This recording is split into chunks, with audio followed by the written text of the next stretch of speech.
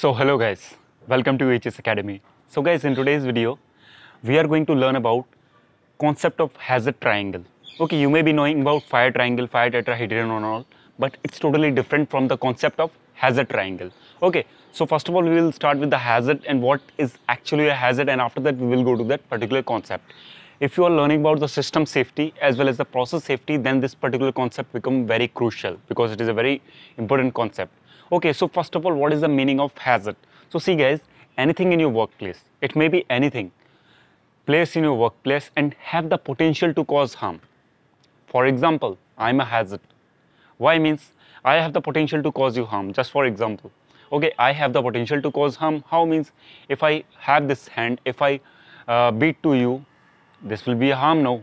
So like that, anything in your workplace, it may be your pen, it may be this kada, it may be this particular ring, it may be your pen, it may be your knife, it may be anything in your workplace which have the potential to cause harm. It is called a hazard.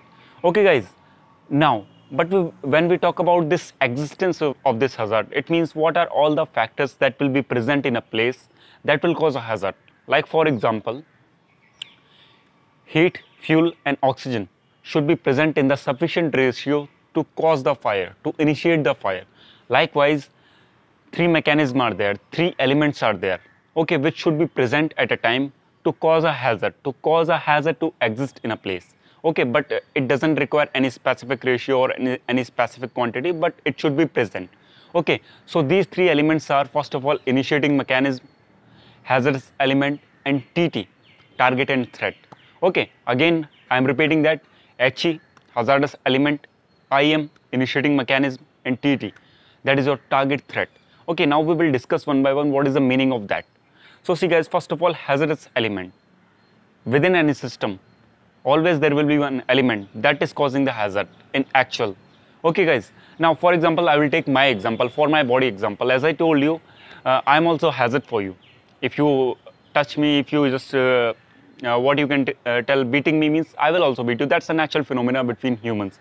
Okay, when we understand about the hazardous element, it means inside me, what is the hazardous element? My soul. This is full of system. My body is a system. Okay, but until and unless it have a soul, it, means inside, if there is a no soul means how I will work. My system will be totally dead. Okay, the soul is required, first of all, within an, any system. For example, if any process system is there, okay, which is just uh, doing any sort of hazardous process. So inside that particular process system, there will be some hazardous element.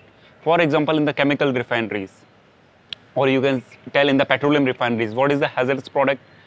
Oil products, crude oil products. Sometimes crude oil will be flowing. If that come outside means it can lead to a fire and explosion. Sometimes there, uh, there will be any naphtha, any LPG and all. Okay, so this will be called as hazardous element. Any element within a system, within any complex system which have the potential to cause harm. That will be called as hazardous element. Now when we come to the second point guys, that will be called as your initiating mechanism. Initiating mechanism. It means what are the things that are just initiating the hazard. For example, see again I will take my body example. Now I'm okay. I'm just talking to you, interacting with you with the concept of hazard triangle. Now suddenly you will come in front of me and you will beat me.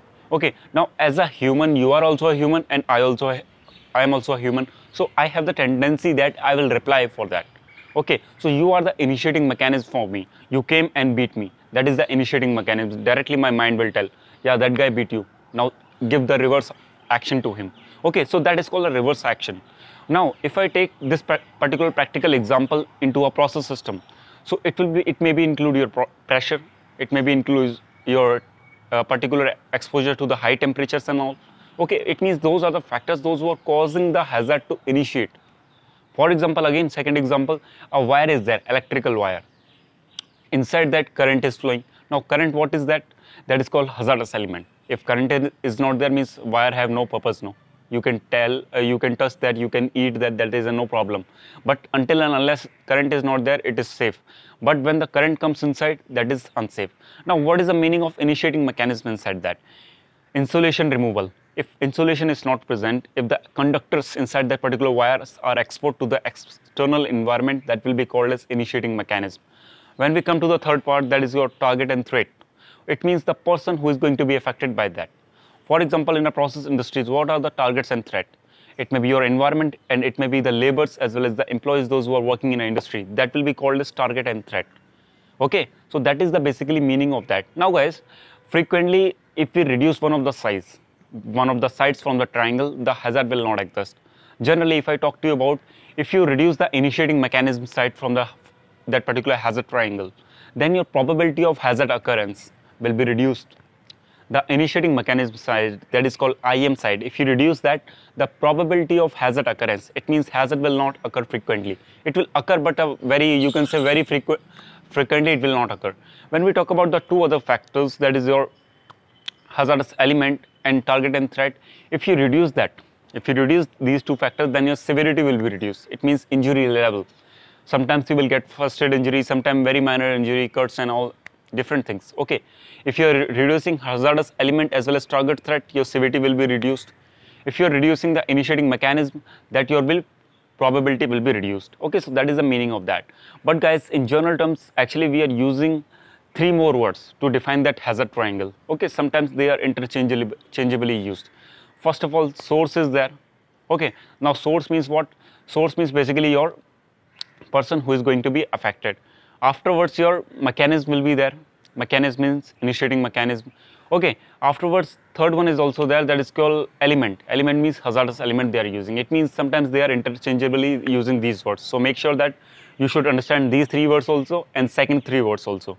Okay i hope you understood that the concept of hazard triangle. Just keep in mind because when we are talking about the process safety and system safety it becomes very important to know about that okay and uh, as you know that as i told you about a lot of concepts inside that so try to remember that guys. It is going to be useful for you. Okay guys so this is the end of the video. If you like this video press the like button as well as here. If you have any doubts it may be happen so you can put them in comment box. I'll be happy to answer you. Okay so till then take care of yourself. Meet you in the next video. Bye